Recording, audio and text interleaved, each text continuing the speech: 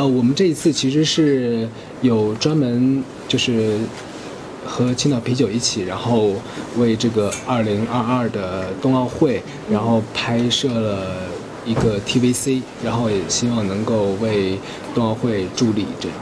就是全社会都在努力的去，嗯，为冬奥会助力，包括我们中国的这些，呃，中国的品牌也都在去，呃，尽自己最大能力去为冬奥会助力。然后包括这次，呃，青岛啤酒，然后它的这个，呃，啤酒的激情和这个，嗯，冬奥会的这个运动的这个激情，然后呢完美结合，我觉得还还还还挺好的。